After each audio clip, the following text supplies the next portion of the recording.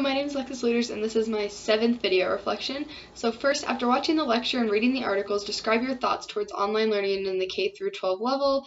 And do you think it's appropriate for students to complete online learning and what its parameters should be? Um, so after kind of talking about it in class and going over the articles and kind of reading up on it, I kind of gained a better understanding of why kids do learn online. Um, I at first was totally against it. Like I'm not a big computer person. I don't think it's really kids get the full effective education through their online learning, but I can see where some students it would be more beneficial, I guess you could say. Um, one thing that I really liked was saying that the kids should maybe still get time for like field trips or interacting with the students, and I think that that's really important for part of the online learning thing. And I also think that it's super important for kids to maybe get together in like groups or little groups and still get that um, like the field trip or the group experience just so you can kind of get that like social interaction with kids your own age still so you're not just like locked in with the proctor or your parent or whatever. So i think that that's a big thing um, for online learning and maybe one of the parameters that should be in place just a certain amount of like social interaction time. Um, do you think every state should require students to complete an online course prior to high school graduation? Um, i think that that would be very beneficial for students especially going on to college afterwards. Um, as we talked about in class, college, a lot of the main majority of college is online, and a lot of um, people's futures lead them to completing more courses after they get a job where they're required to go online, and it can be kind of confusing. I just took my first um, summer online class last summer, and um, it was stats, so that was really hard to kind of get those like basic um, the like basic elements of stats into like my brain and try to take the quizzes and learn and do the assignments. Um, I would have preferred like a teacher um, in class to teach me that versus online for that.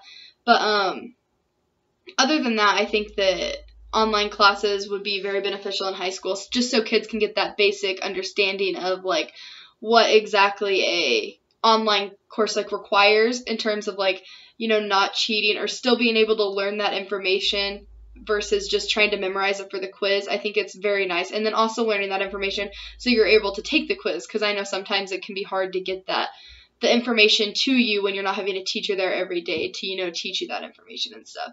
So that's the main thing for that, I think. And then describe your experience working with LMS and then which system did you choose and what did you like or dislike about the system and how could you use this as a future educator? I chose to use that Edmodo um, online one, and I actually created a second grade mathematics lesson of place value, just rounding to the nearest tens. So I actually put the link in my discussion board and then added the access code so anyone can go on and, and take the 10 question quiz that I created.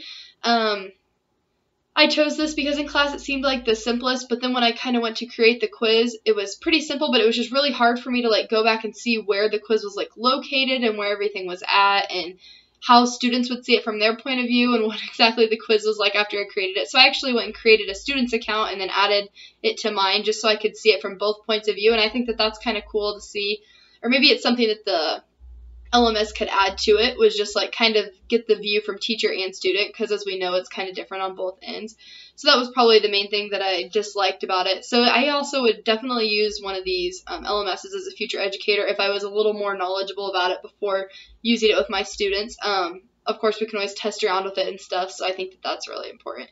But overall, I thought it was a great way to give the students the information and then maybe in class and then send them home with assignments or with quizzes so that they can complete those and maybe save some save some time in in class or out of school just taking that that quiz out of school, if that makes sense. So overall, I thought that the LMSs had their pros and cons, but um, overall, I thought it was a very beneficial thing for students to, a great way for students to learn in different circumstances, and an easy way for teachers to use these LMSs to um, to connect with those students on a different level. So this is my um, seventh video reflection. Thank you.